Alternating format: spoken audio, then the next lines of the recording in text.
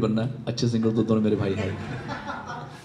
तो मैं इनको एंड में कहूँगा कि जब ये गाते हैं तो हम गा नहीं पाएँगे। तो बहुत सुर में गाते दोनों मेरे भाई। तो मैं सिंपल सा कोई भी कौन सा गाना गाऊँ? बुल्ले वाला गाऊँ?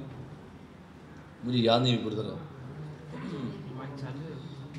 चलो, सलमान भाई के लिए गाना। वैसे तो रेस थ्री में भी मेरा गाना आ रहा है।